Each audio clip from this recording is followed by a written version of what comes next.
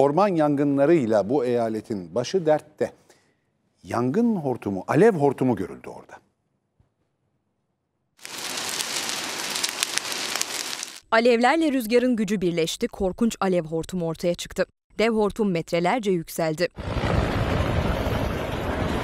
Görüntü 14 Ağustos'tan bugüne kadar orman yangınlarıyla boğuşan Amerika Birleşik Devletleri'nin Kaliforniya eyaletinden. Bölgedeki yangın şiddetli rüzgar, düşük nem oranı ve yüksek sıcaklığın etkisiyle hızla büyüyor. O yangınların arasında şiddetli rüzgarın etkisiyle nadir rastlanan alev hortumu oluştu. Görüntüyü Kaliforniya itfaiyesi paylaştı. Hortumu kontrol altına almak için helikopterler sevk edildi.